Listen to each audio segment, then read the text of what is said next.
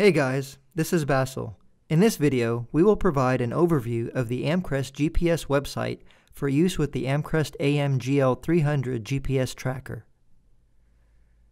Before you begin, make sure your device is turned on and attached to the vehicle, person, or asset you want to track. To get started, you will need to activate your device first. To do this, go to amcrest.com forward slash GPS dash activation and complete the activation form on the screen. Once complete, you should receive a confirmation email containing your login credentials. Next, in a web browser, go to amcrestgps.com.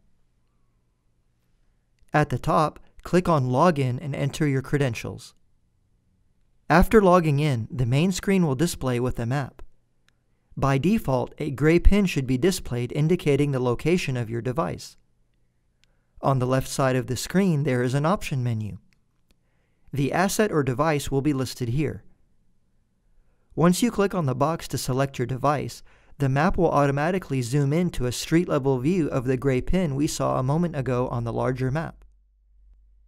The arrow buttons allow you to enlarge or reduce the size of the option menu from an expanded view to a capsulized sidebar. The menu button lets you choose which type of asset you want to display, a driver, portable device, or vehicle. The gear icon lets you customize the individual metrics you want displayed in the option menu. And the magnifying glass allows you to search or filter assets if you have multiple devices. At the top left, there are menu options for map, asset info, trips, zones, alerts, and reports. For more detailed information about zones, alerts, and reports, please refer to our other videos in this Amcrest GPS video series with the same corresponding titles. Asset info is information of the asset including status, current speed, date and time, and position. In this window, there are tabs below for recent alerts, recent events, recent trips, and more information.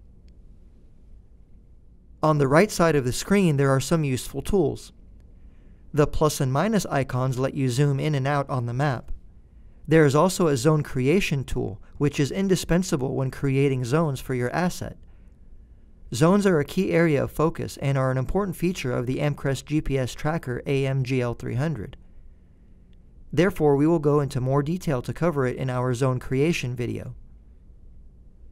The stack icon lets you customize your map source using either Google Streets, MapQuest, or MapQuest Satellite, which shows the terrain on the map. You can also customize which overlays are shown on your map. These overlays include no-go zones, keep-in zones, locations, routes, asset labels, and asset icons. No-go zones are geofenced zones on the map where you can designate an area into which you don't want your device to enter. Keep-in zones do the opposite, as they are geofenced zones where you can designate an area from which you do not want your device to exit. On the top right, there is your user profile, which allows you to log out, and there's a mute icon. If you were to trigger a high priority alert, a siren will go off and not stop until you dismiss the alert. This megaphone or speaker icon will mute all alerts. For more information on alerts, please check out our alert configuration video. We hope this video has given you an understandable overview of the AmcrestGPS.com web application. Thank you for watching, guys. Please subscribe to our channel and check out more how-to videos from Amcrest Technologies.